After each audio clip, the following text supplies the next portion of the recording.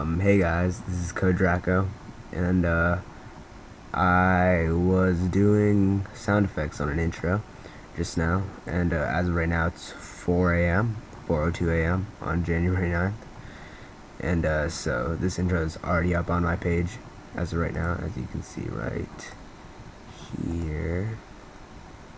This intro is already up on my page right now, and let me show you it real quick. Let's just show you guys what you which way I'm just gonna just give you a little preview what I'm gonna show you how to do. And as you can listen, just listen. You don't have to care about the animation.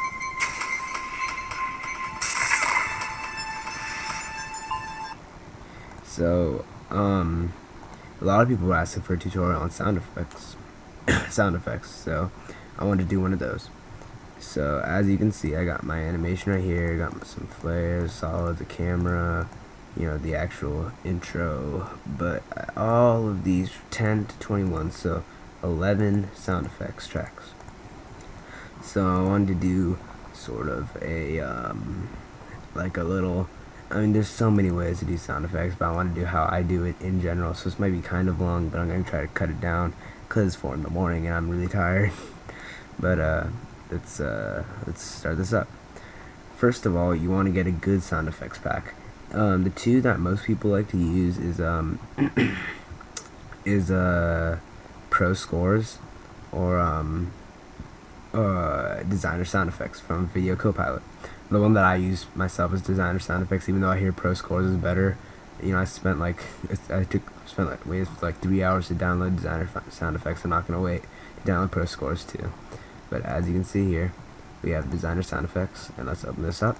And the the the little uh, program I use to actually listen to these and like pick and choose because this one's really good is Adobe Soundbooth CS5 you guys don't have to use this you can use uh, iTunes or whatever you guys have. I just like this because I can mess I can like mix it up a little. And also in Soundbooth it uh you know you guys will have this if you guys uh did what I did and you bought and you got the master collection uh, the Adobe master collection. But if you guys uh, didn't you guys probably won't have this because it's not something that you would just get on your own but here we go. We got uh, Adobe Soundbooth and Designer Sound Effects side by side. Now, first thing you want to do is uh, let's just for now delete all of these so we can just start fresh. Alright, so here we have the intro. And now the first thing you want to do is find ambience.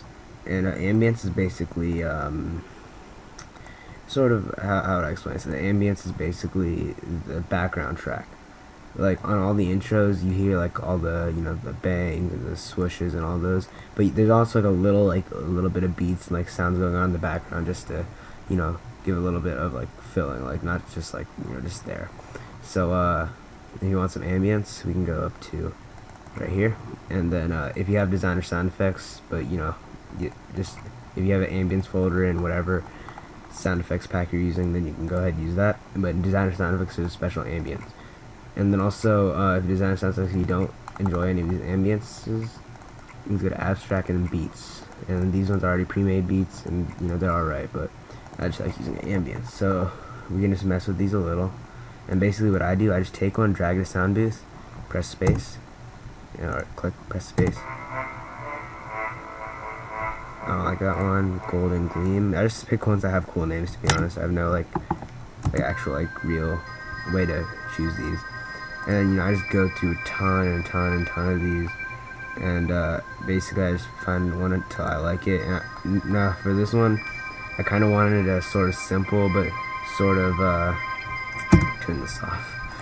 A sort of simple but sort of uh, you know not too dramatic to approach I guess.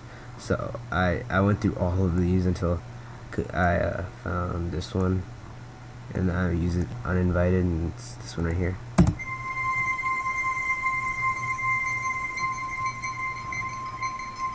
it's sort of just like a ringing noise with just a little tinkly sounds or whatever in between. So basically how you put this into After Effects, which is where I do put the sounds.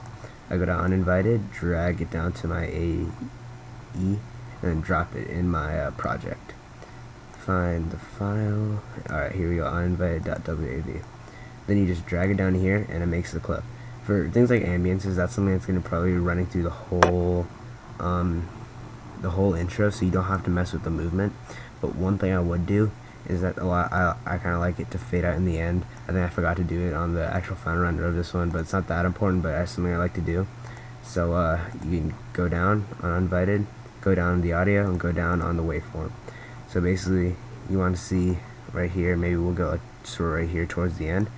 Click your audio levels and then uh, move back a little and sort of a key mark or key mark is that it keyframe the zero. Alright now move up a little and then just move to the very end where it's like just like not not this far. This is too far if you don't see anything. Make sure you can see something.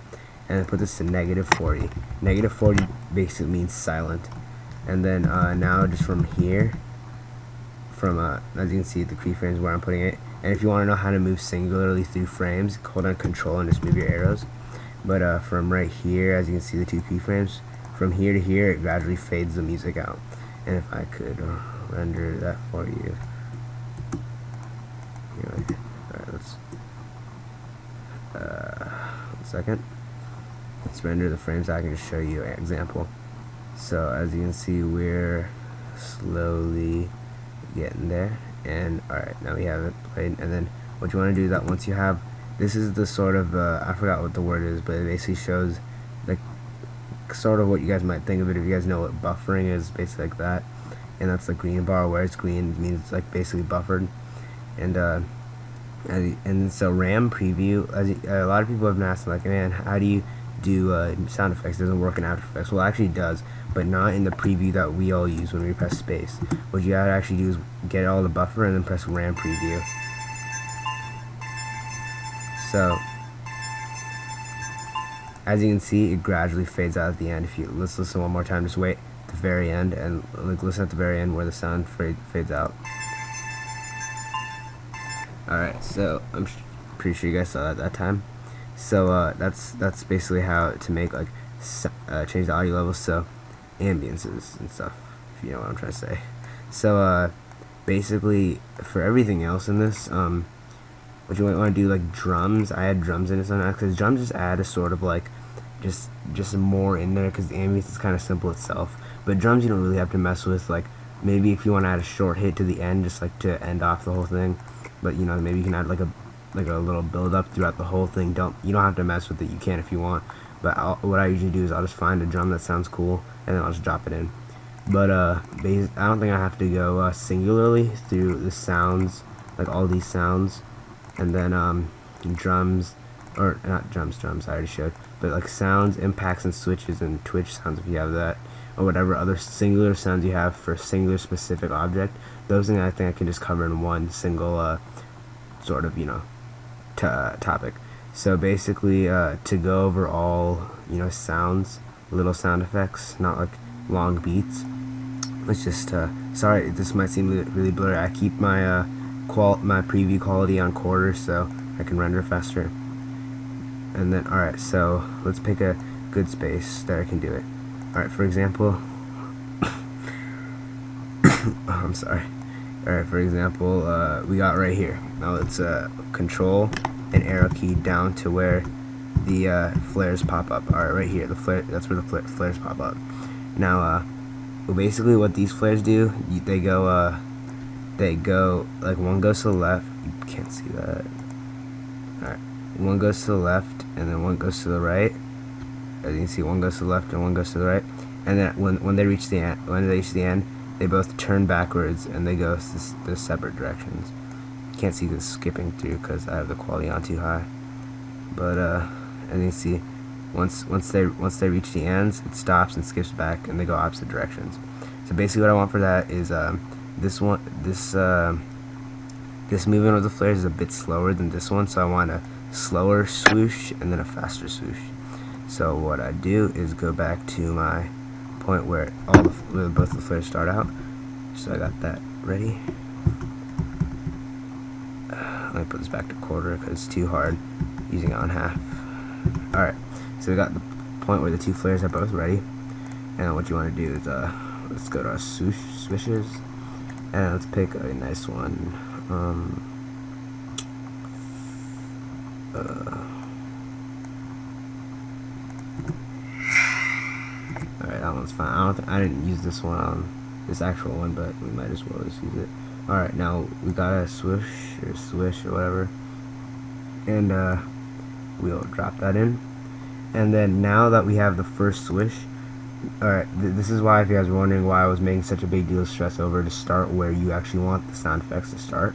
So now I can just simply just move the sound effects to the very start. Because what you want to do, the good thing about Soundbooth is that um you can see like alright the, the waveform as you can see like the uh, actual sound effects right here. It starts in the very beginning, but some of the sound effects will start at the end, so you have to actually do lining up. But if, if the sound effect starts in the beginning, you can simply just drag it over to the beginning right here where I, I like put the little you can see the red line passing through every single uh, layer where where because that's where I uh, marked where the where everything starts. So let me just show you guys how just by, just by moving it to where everything starts like it like lined everything up. Let's buffer it out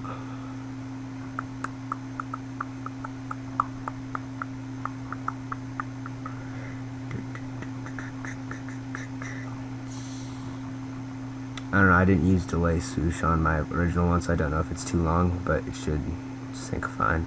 But alright, let's just RAM preview it. Yeah, see, so uh, so it, sh it should have worked. The thing is that it starts, it's like too long, but what you can just do in that case, just move it back a little until you think you got enough that it just work. It's really simple, actually yeah, as you can see, if you if you look closely at the flares and when the sound effects goes off, it syncs well. And then uh, let's pick a faster one. And uh, let's just pick one of the ones labeled fast. Fast switch. Switch. That's uh, the thing is that I don't I don't I don't use ones where the actual uh, selection's in the middle because I don't like uh, messing with it too much. So I'd rather just pick one like this is the one I used. Yeah, the one at the very beginning. I think this is the one I used. Yeah, see, it just goes really fast.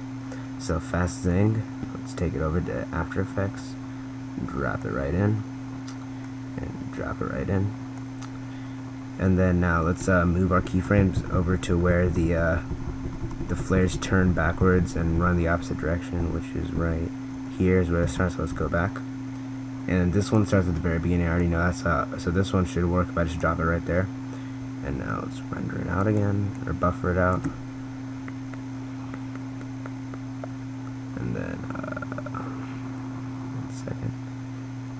Uh, uh, uh, uh. and let's RAM preview it yeah as you can see look at the, if you look at the flares and listen to the music the uh, music and the flares sync perfectly and that's what you have to do using frames and uh, and looking at uh, the, just coordinating it all together so if you listen again so uh, that's basically how you uh, sync and uh, apply sound effects to uh, your intros. So if you guys have any other questions asking, please don't ask for designer sound effects. Like don't don't please don't ask me for sound effects because like I might release like 10, 10 different sound effects in a pack, but I won't release all of mine. And not because I'm trying to hide it, it's because it's like a three hour download. So I, I mean, I can't like I, I don't know where I'd upload something because that's it's like a gigabyte memory, so I, I won't be able to upload that anywhere or do anything like that to give to you guys, and I wish I could, I really do. I tried to upload it to FileFront, but it was too big of a file, so I'm sorry guys. But uh, if you guys, uh, you know, need anything else, just uh, let me know in the comments below. But sorry, I can't give you actual sound effects. But I hope you guys learned something on how to apply sound effects in this tutorial. If I missed anything out, let me know, and I might uh, make another. Thanks, bye.